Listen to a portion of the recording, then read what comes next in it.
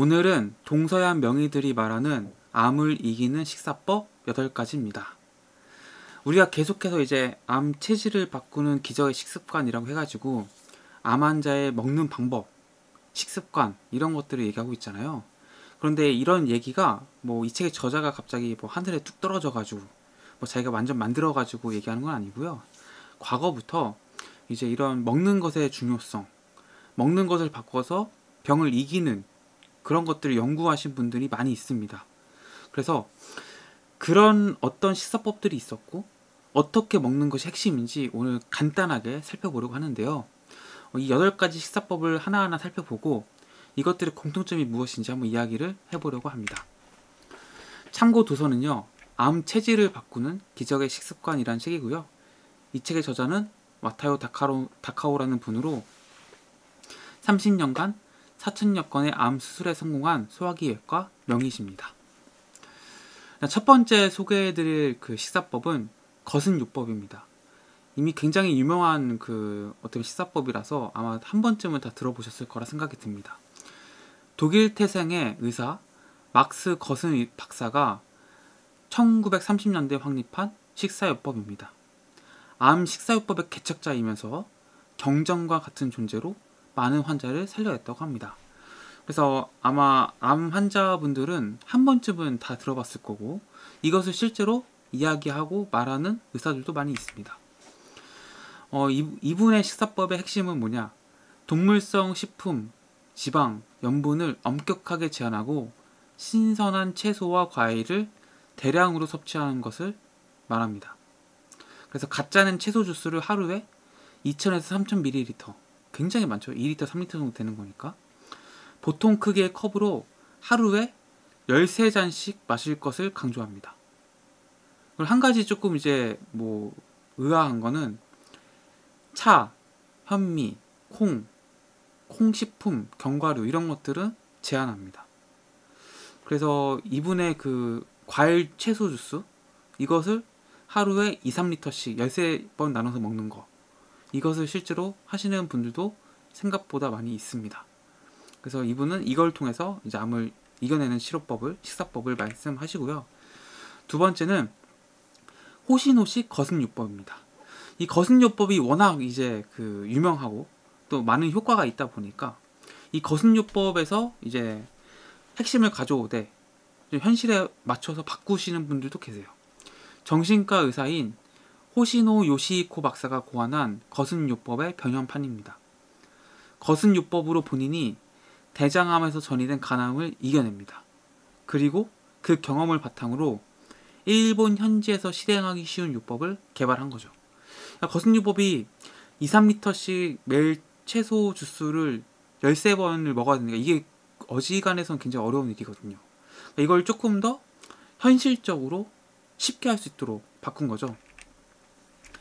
채소와 과일 주스를 한 번에 400ml씩 하루에 3회 이상 마시게 합니다. 일상생활이나 일을 하면서도 효과가 떨어지지 않도록 고안을 한 것이죠. 하지만 이제 핵심은 거슴요법과 같다고 볼 수 있습니다. 채소와 과일 주스를 먹는 거죠. 세 번째는 고다요법입니다. 정식 명칭은 니시식 고다요법이고요. 고다 미스오 박사가 니시 가스조 씨가 고안한 체조 식사요법인 니시지 건강법을 계승, 더욱 발전해서 확립시킨 겁니다. 일본에서 굉장히 유명한 의사분이 몇 분 계시는데 니시, 니시 요법이랑 또 굉장히 유명하고 이것을 이제 어떻게 보면 계승한 고다 미스오 박사의 고다 요법도 유명합니다. 이 니시식 고다 요법의 핵심은 뭐냐? 소식, 현미 생채식, 단식 요법 등이 있습니다. 현미 생채식이란 건 뭐냐? 현미가루와 뿌리 채소를 믹서로 갈거나 다져서 전부 날 것으로 먹는 방법입니다. 거슴 요법과 비슷한 부분이 많습니다. 실제로 이 요법으로 많은 난치병 환자를 치료했다고 합니다. 네 번째는 매크로바이오틱입니다. 일본의 식양생법 연구가 사쿠라자와 유키 카즈시가 메이지 시대의 의사 이시즈카 사겐의 식양법을 계승한 겁니다. 이거 어떻게 보면 일본 전통 요법이라 볼 수 있겠죠? 1930년대에 고안한 현미와 채식 유제 식사요법입니다. 미국의 유명 인사들이 많이 지지한다고 합니다. 현미, 잡곡, 통밀 제품 등을 주식으로 하고요. 부식으로 채소, 콩류, 버섯, 해조류 등을 먹습니다. 육류나 설탕은 금지하고요. 채소는 따뜻하게 익혀 먹는 방식을 추천을 합니다. 다섯 번째는 구리야마식 식사요법입니다. 자연식 연구가인 구리야마 기이치 씨가 고안하고 후계자인 구리야마 아키요 씨가 제창한 식사요법입니다. 생수, 신선한 채소, 과일 섭취를 중요시하는 자연식 요법, 자연식 요법이고요. 신맛이 강한 레몬 따위의 감귤류나 식초를 적극적으로 섭취할 것을 권합니다. 여기는 이제 좀 특별한 게 신맛이 강한 레몬 따위의 감귤류나 식초를 적극적으로 섭취하는 것을 권장하는 거죠. 여섯 번째는 natural hygiene입니다. 1830년대 미국에서 일어난 일종의 자연 회귀 운동입니다. 과일을 가장 중요한 식품으로 보고요. 오전에는 과일이나 과일 주스만 섭취하고 자연식으로 몸속 자연 치유력을 정상화하고 유지하는 것을 목표로 합니다. 일곱 번째는 웨일식 식사법입니다. 미국의 저명한 건강의학 연구가 앤드루 웨일 씨가 제창한 식사법인데요. 일본의 정통식과 지중해 지역의 일상 식단을 이상적인 식단으로 규정했습니다. 특히 과일과 채소, 도정하지 않은 곡류, 버섯류를 적극적으로 먹을 것을 권하는데요. 녹차와 올리브유도 추천을 합니다. 단백질과 지방은 제한합니다. 마지막 여덟 번째는 후타키식 건강법입니다.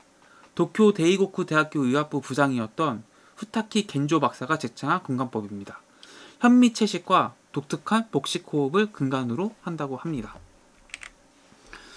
현미식 채식을 완전식으로 규정을 했고요. 그러니까 완전한 식사, 완전식으로 규정을 했고 소금은 사용하지 않습니다.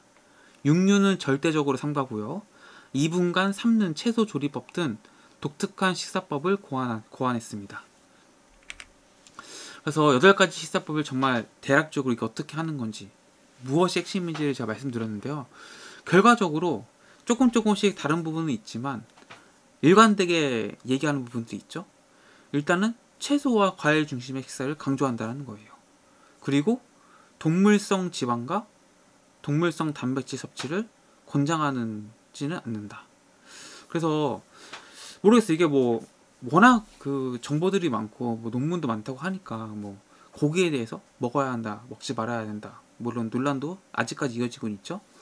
근데 제가 이제 이런 뭔가 식습관에 대한 책들, 어떻게 먹는가에 대한 책들을 공부하다 보니까 어 대부분은 이제 조금 이제 뭔가 큰 병을 앓고 그것을 이겨내신 분들은 대부분은 이제 동물성 지방이나 단백질 섭취를 권하지는 않습니다. 그래서 뭐 정상인 분들이 뭐 소량의 고기, 육류, 뭐 동물성 지방과 동물 단백질을 먹는 것은 문제가 없습니다. 뭐 우리 몸의 메커니즘 속에서 충분히 다 소화할 수 있고 그 다음에 또 뭐 병이 생기는지 않습니다. 어, 그런데 이제 몸이 좀 약하신 분들 이미 뭔가 큰 병을 앓고 계신 분들은 우리 몸의 뭔가 그 회복에는 육류의 그 섭취는 별로 좋지 않을 수 있다라는 게 어, 공통적인 좀 생각이 아닌가 이런 생각 해봅니다. 그래서 오늘 그 동서양에서 말, 말하고 있는 동서양 명의들이 말하고 있는 8가지 식사요법에 대해 소개를 해드렸고요. 관심 있으신 분들은 각 부분에 대한 책들이 또 다 있습니다. 제가 또 나중에 또 다 리뷰를 해드릴 거긴 한데 어, 미리 먼저 읽어보셔도 좋고요. 뭐 아니면은 제가 이제 뭐 시간이 되는 대로 한 권 한 권 그 책들을 읽고 리뷰를 해드리도록 하겠습니다. 도움이 되셨다면은 구독과 좋아요 눌러주시면 감사하겠습니다. 고맙습니다.